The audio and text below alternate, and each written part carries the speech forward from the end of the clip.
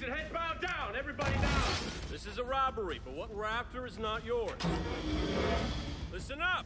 We're coming down to empty that vault. You have to give me your authorization password. Okay.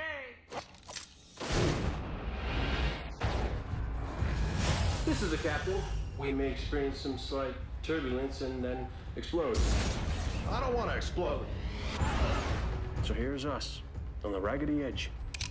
Come a day, there won't be room for naughty men like us to slip about at all. I'm taking your sister under my protection here. She's conditioned for combat. She's a creature of extraordinary grace. The only people she's a threat to is us on this boat. River, do you want to stay with them? It isn't safe for them. Every minute you keep her from me, more people will die. You think I care? Of course you care.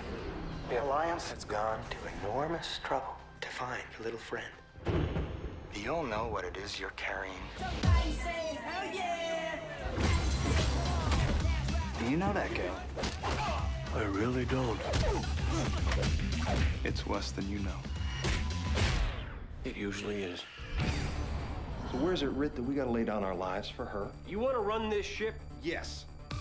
Well, you can't. No more running. I am to misbehave. It's a fair bet the Alliance knows what's coming. No, they're not going to see this coming.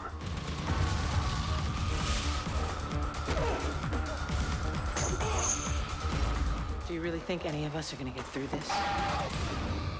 Well, I might. This is gonna get pretty interesting. Define interesting. Oh God, oh God, we're all gonna die? No, yes, no. Yes. The universe is going to know the truth. You willing to die for that? I am.